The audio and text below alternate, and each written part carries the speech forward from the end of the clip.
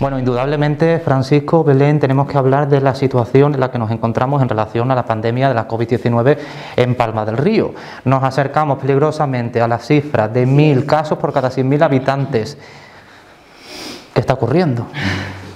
Bueno, pues al final yo creo que, que está ocurriendo lo que, bueno, por desgracia nadie queríamos, pero muchos veíamos que podía pasar. ¿no? Al final cuando olvidamos de cumplir eh, escrupulosamente las medidas, eh, pues eh, este, este, virus no, entiende de, amistades, no entiende de familia, no entiende, además es un virus invisible en la mayoría de los casos y en el momento que bajamos la guardia, pues pasa lo que, lo que está pasando, no en Palma del Río, sino por desgracia en todo el mundo y en toda España.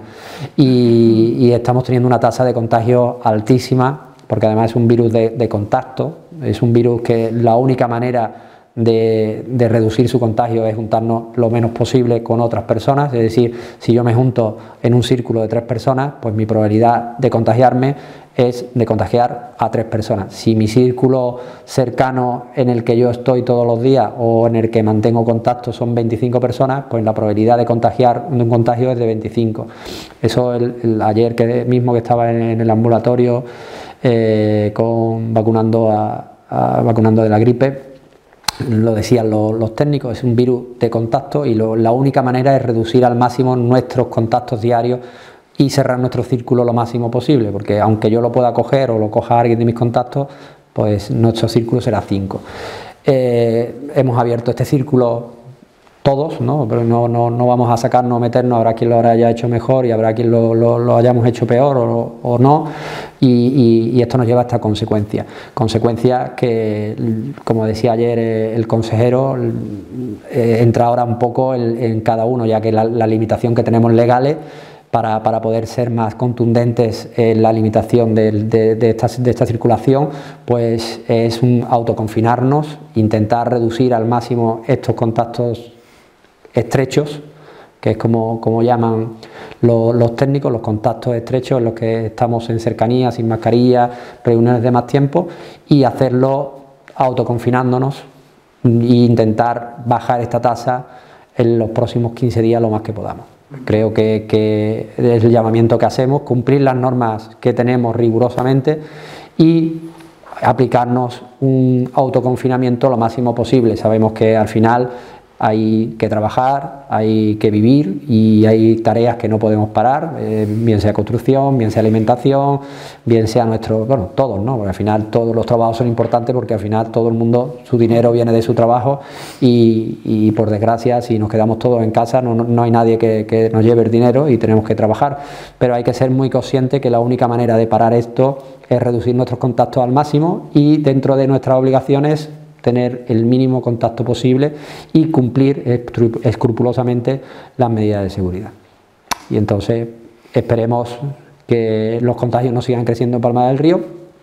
Eh, evidentemente, a más casos, como hemos dicho, pues más irán, irán saliendo. Llegar al pico de, de contagios lo antes posible y que entre todos seamos capaces de revertir esta situación, no solamente ya en Palma del Río, sino en la provincia y en Andalucía y en la nación, que es lo que queremos todos que esto sea lo, más corto posible.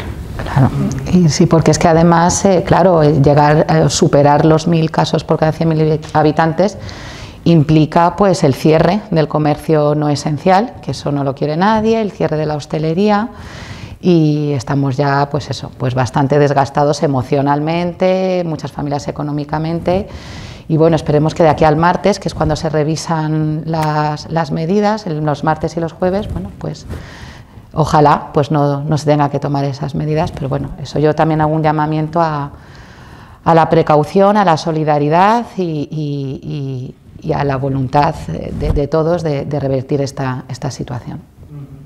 En cualquier caso, nos encontramos en una situación que parece tener difícil solución. Vale, sí, tenemos la vacuna. Vale, sí, más o menos se está empezando ya a administrar la vacuna hay ciertos lugares en los que no se está vacunando tan rápido como se esperaba, hay otros lugares en los que hemos visto esta semana que hay personas que se han puesto la vacuna y no se la debería de haber puesto, bastante polémica con este asunto. Luego, los políticos llaman a la prudencia de los ciudadanos, los ciudadanos le echan la bola a los políticos, que sois ustedes los que tenéis que poner un poco de orden en todo este, en todo este desastre. Nos encontramos en una tercera ola, que es lo que va a venir eh, en los próximos meses. Una cuarta ola, una quinta ola, esto parece un despropósito. Ojalá lo supiéramos, es que no, no, no sabemos. Es...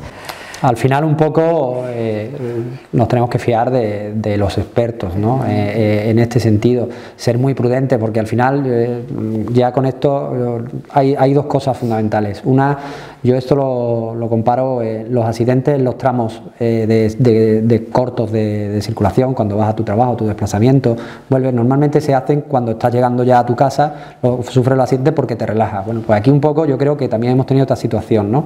De parece que la vacuna ya estaba aquí, eh, que esto el fin ya estaba cerca y, nos relajamos y, tiene estas consecuencias.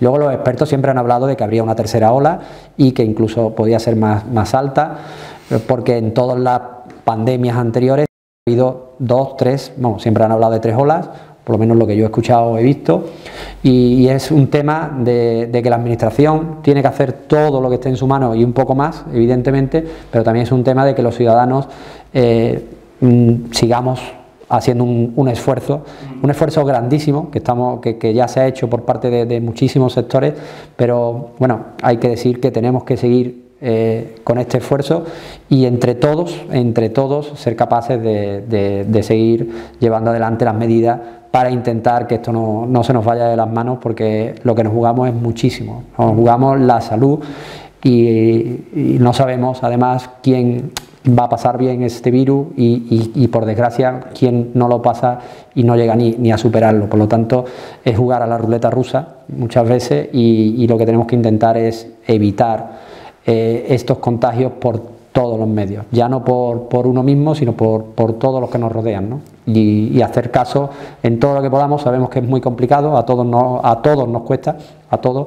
Yo tengo hija es pequeña y es complicado no celebrar un cumpleaños, es complicado no, decir que no podemos salir al parque, pero por desgracia es lo que nos ha tocado y, es obligatorio por todo el hacer lo que esté en nuestras manos y exigir, evidentemente, que la Administración haga lo que tiene que hacer. Eso es sin duda, la Administración tiene una responsabilidad importantísima en todo esto pero también nosotros como ciudadanos tenemos una parte de responsabilidad. Los ciudadanos tenemos derechos, muchísimos, pero también tenemos responsabilidades y es nuestra responsabilidad cumplir y acatar las normas. Y creo que, se ha hecho un esfuerzo importantísimo, pero es verdad que parecía que veníamos la luz ya al final del túnel, cuando empieza la noticia la vacuna ya, pues mm, nos relajamos un poco y, bueno, pues estamos en la situación que estamos. Exactamente, bueno, por supuesto que sí, que los ciudadanos al fin y al cabo, todos, tenemos también que ser prudentes, ser responsables en esta situación en la que nos encontramos